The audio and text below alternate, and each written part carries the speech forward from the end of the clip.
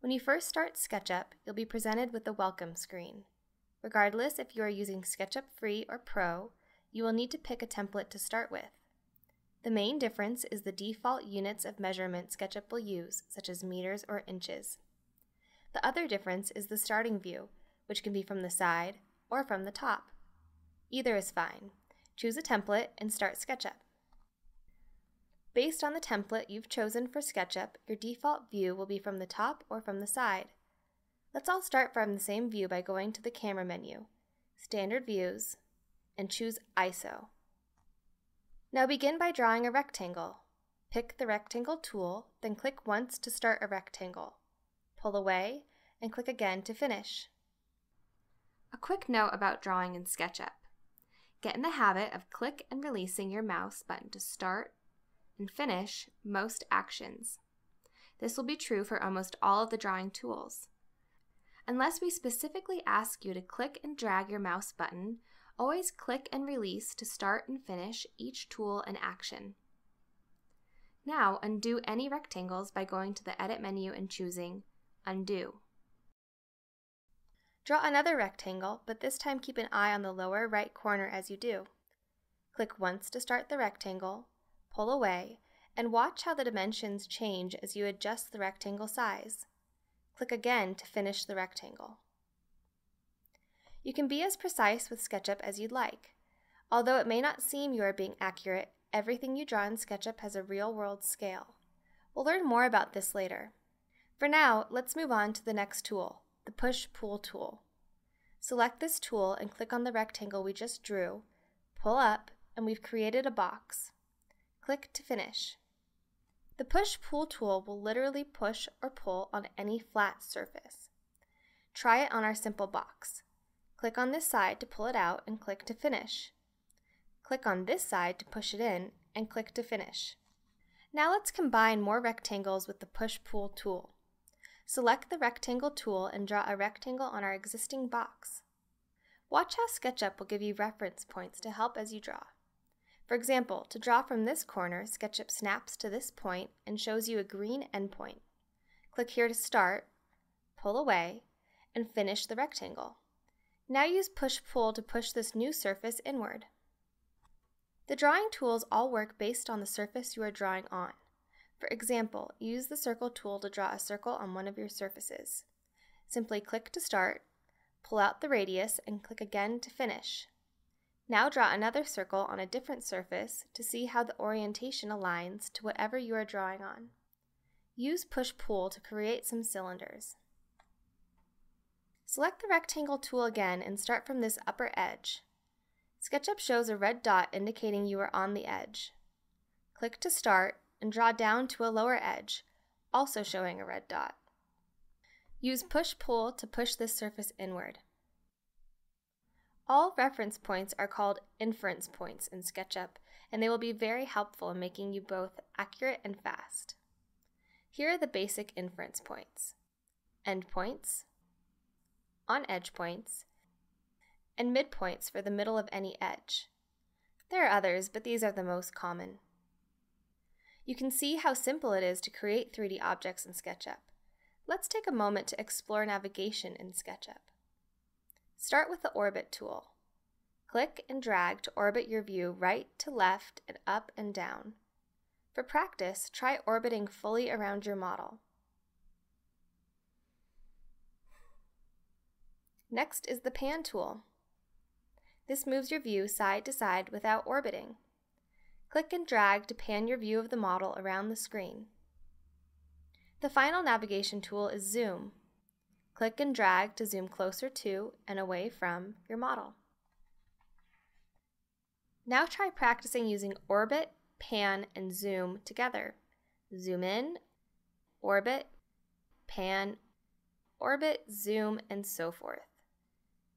Navigating is essential in SketchUp, but going back and forth to pick the icons seems slow and cumbersome, which is why we've built all the navigation tools into a three-button scroll wheel mouse.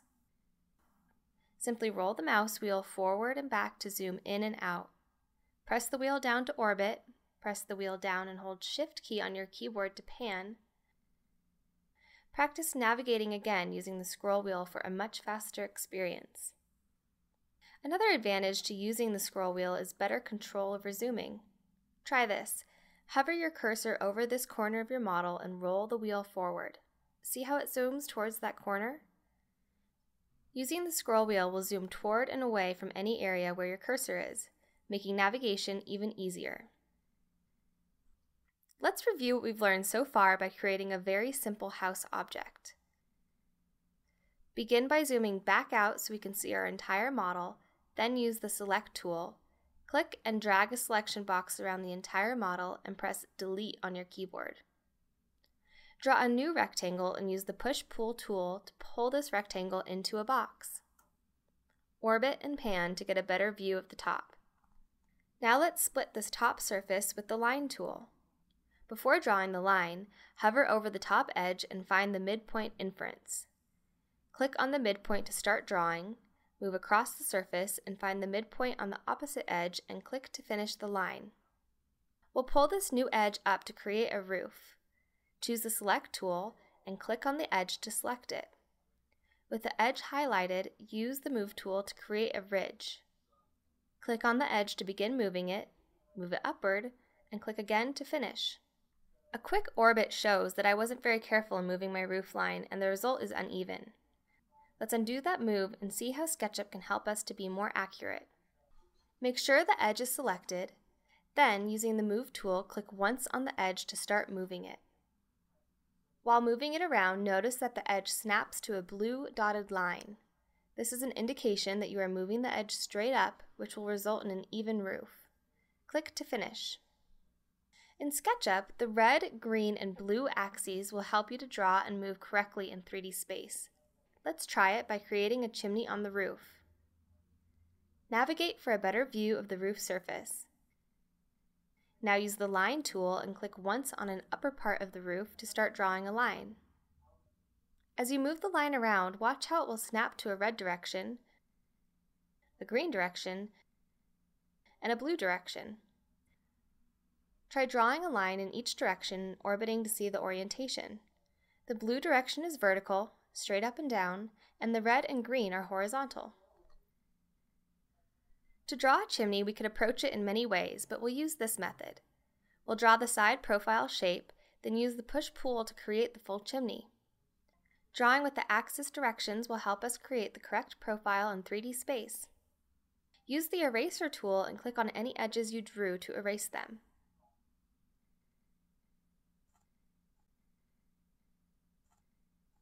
With the Line tool, click once on the roof edge.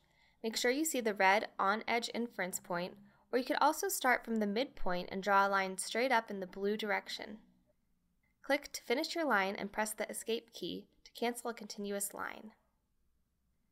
Now choose another point on the edge and start drawing a line from that point up in the blue direction and watch as you draw upward that SketchUp will give you an inference when you are lined up with the previous line you drew. Draw your second line to this point. Now draw an edge connecting the two lines to complete a surface. With the surface drawn, use push-pull to extend the chimney across the roof to a point you are happy with. Use push-pull again to complete the chimney.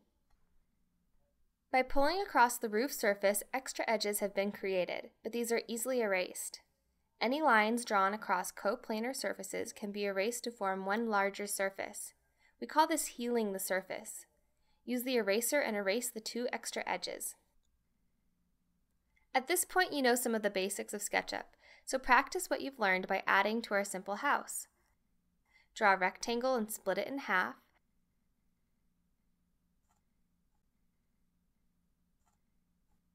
Then use push-pull to create some steps.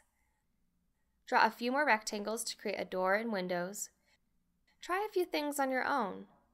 You can see how easy it is to create simple models in SketchUp with only a few tools. When you are ready to learn more, proceed to our next video where we will create a more detailed house with real dimensions and introduce you to the offset and follow me tools.